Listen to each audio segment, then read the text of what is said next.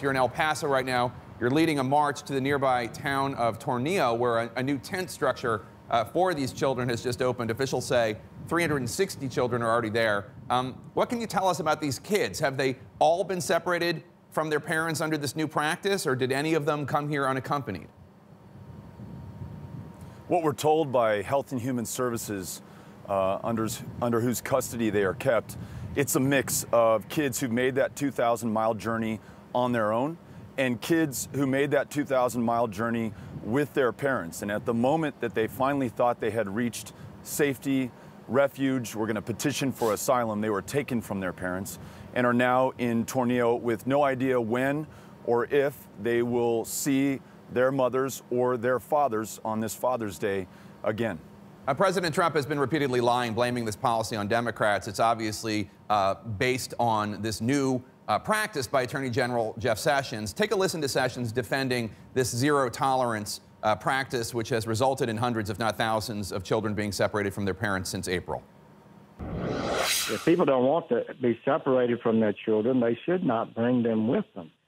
That's, we've got to get this message out. It's legitimate to warn people who come to the country unlawfully, uh, bringing children with them, that they uh, can't uh, expect that they'll always be kept together. Now, Sessions and the Justice Department say they're doing this because uh, they need to stop this undocumented immigration crisis at the border. Um, what do you say to that argument that this is all about deterrence and stopping people from coming into the country illegally? You know, I really feel actually for the Border Patrol agents who are meeting these refugees and asylum seekers at their most desperate moment at their most vulnerable. We're asking those men and women of the Border Patrol to solve international problems, to solve our country's problems at our border with Mexico. Things have to be really bad for you to leave Honduras, travel 2,000 miles, if you're lucky, on top of, not inside of a train known as the Beast or La Bestia, with your child, to, to, to literally take your and your child's life into your own hands and hope that you'll make it here. Once you get here, to try to request asylum only to find that your child will be taken from you. This is inhumane. I'd like to say it's un American, but it's happening right now in America, and it is on all of us, not just the Trump administration. This is on all of us. And that's why we're marching to Tornillo today uh, to bear witness, to shed light on this, to make sure everyone in America knows that this is going on. I hope to produce um, the outrage and the public pressure to force those in power to do the right thing. I'm working on legislation with my colleagues to end the practice of family separation. It will be introduced this coming week. And I need Republicans and Democrats alike to join us to make sure that is America and that we make sure that those who petition for asylum, we hear their case.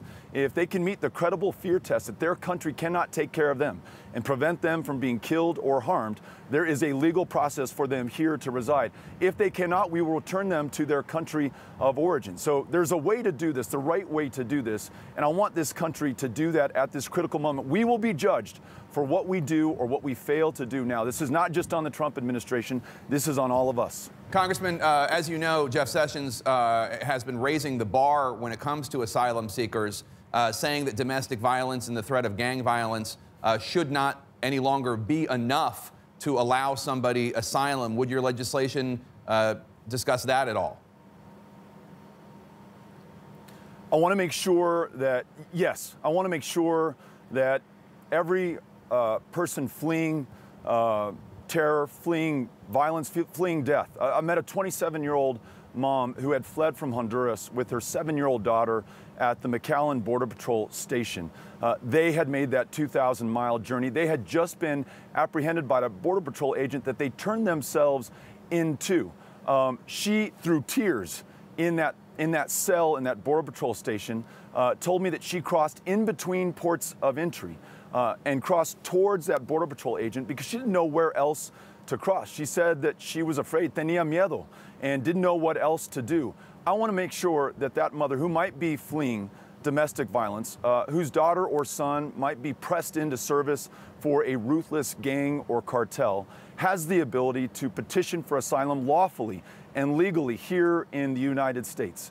Um, that is this country at our best. Yeah. That is our law right now as I read it Uh, and, and, certainly, um, mm-hmm. the eyes of the world, our kids, our conscience, and history will judge us based on how we treat that woman. Within hours of meeting her, her seven year old daughter was going to be taken from her. And I cannot imagine the trauma that mother and child felt at that moment. We got to make sure that we do not continue to inflict that. Already 2,000 kids in the last 45 right. days have been taken from their parents. We've got to put an end to this. Congressman, here's what the president tweeted earlier this week. Quote, the Democrats are forcing the breakup of families at the border with their horrible and cruel legislative agenda. Any immigration bill must have full funding for the wall, end catch and release, visa lottery and chain, and go to merit-based immigration. Go for it, win, unquote. I understand uh, this practice didn't come, come about because of a Democratic law, but you're in the minority in the House and the Senate, and you don't control the White House. Don't you have to accept some compromises here if you want to make changes, including, for instance, funding the president's border wall?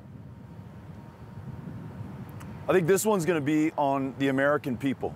And I think when we make the choice clear that we can do the right thing uh, by this country and for those kids and not do it at the price of a 2,000 mile, 30 foot high, $30 billion wall, uh, not doing it at the price of deporting people who are seeking asylum, deporting people in some cases back to certain death.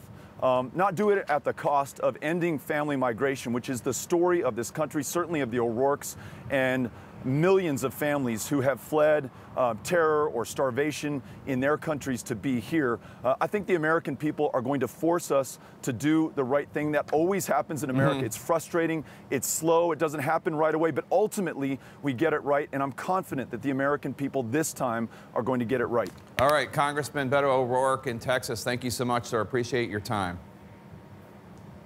Happy Father's Day. To you as well, sir.